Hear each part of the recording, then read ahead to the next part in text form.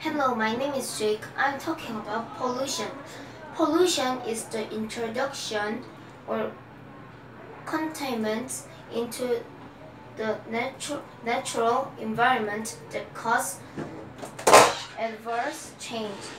Pollution can take the form, form of chemical, substance, or energy such as noise, heat, or light. Pollutions, the com components of pollution can be either foreign substance, energies, or naturally occurring, occurring. occurring contaminants.